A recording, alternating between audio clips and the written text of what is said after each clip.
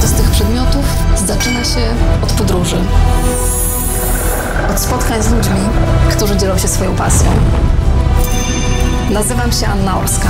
Odwiedzam miejsca, w których poznaję niezwykłe rzemiosła. Ten świat przywożę do swojej pracowni. Myślę, że miejsca głównie tworzą ludzie i to ma ogromne znaczenie. Nowy program Rzemiosła Świata według Orski. W marcu w Zoom TV.